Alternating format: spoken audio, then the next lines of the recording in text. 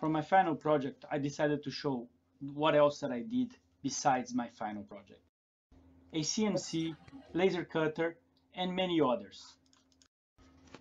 In the end, a whole farm, a fab farm.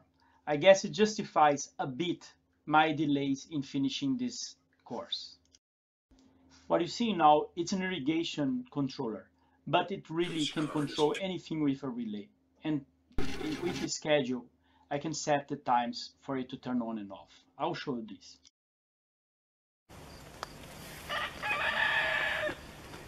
This is the system and let's control it.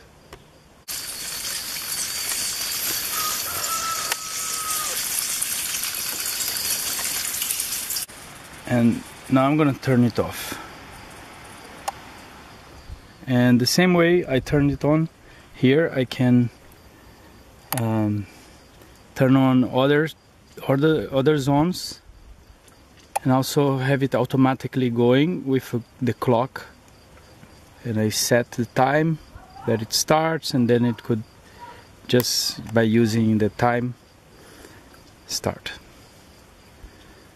So just for demonstration purposes I'll just and the lights here